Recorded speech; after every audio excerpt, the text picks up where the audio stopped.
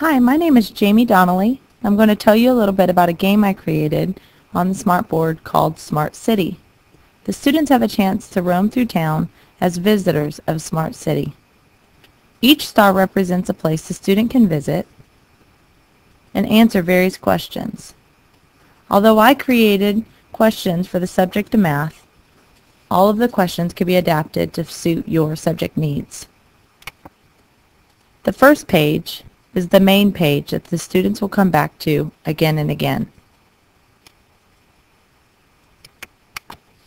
We will start by clicking on a star, which is linked to a page with a question related to the scenery.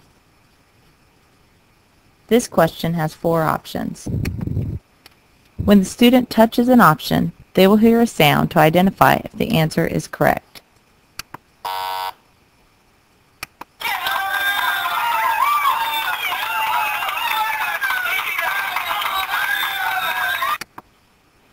Let's go back to the Smart City homepage and click on another star.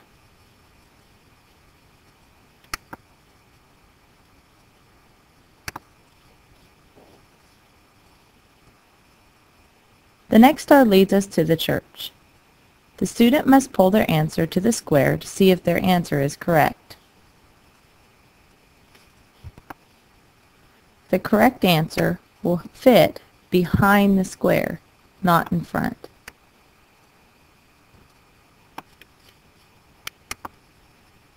As you can see, each page has a student doing some sort of activity on the smartboard that is highly interactive.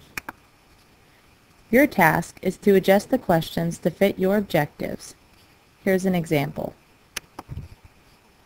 I can go into one of the pages and unlock the text.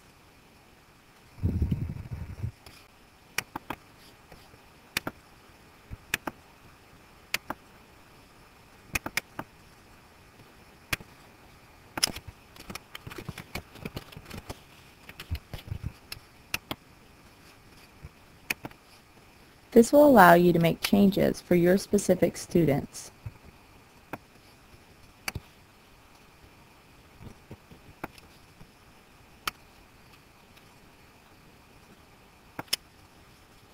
I would highly recommend locking your question when you're done so students don't accidentally adjust it as they're working on the smartboard.